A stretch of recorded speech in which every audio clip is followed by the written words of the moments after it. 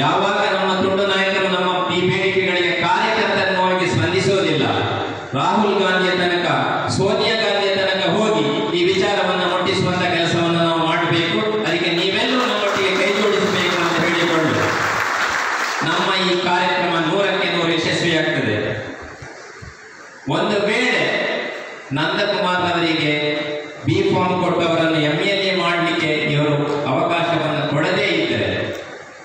ಇದರ ಪರಿಣಾಮವನ್ನು ಕೂಡ ನಮ್ಮ ಈ ಭಾಗದ ನಾಯಕರು ಖಂಡಿತ ಅನುಭವಿಸ್ತಾರೆ.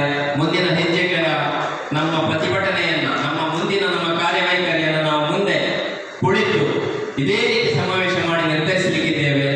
ಆದುದರಿಂದ ನೀವೆಲ್ಲರೂ ಒಗ್ಗಟ್ಟಾಗಿ, ಇಲ್ಲಿ ಇದು ಈ ದೇಶದ ಸಿದ್ಧಾಂತವನ್ನು ಉಳಿಸಲಿಕ್ಕೆ ಬೇಕಾಗಿರುವಂತಹ ಒಂದು ನಡೆ.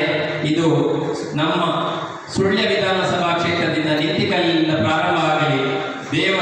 ನಿಮ್ಗೆಲ್ಲರಿಗೂ ಆಯುರಾರೋಗ್ಯ ಐಶ್ವರ್ಯವನ್ನು ಕೊಡಲಿ. ಸ್ಪಷ್ಟವಾದಂತಹ ನೇರ ಗುರಿಯನ್ನು ನಿರ್ಧರಿಸಿ ಅದನ್ನು ಪಡೆಯುವ ಗೆಲ್ಲುವ ಕೊಡಲಿ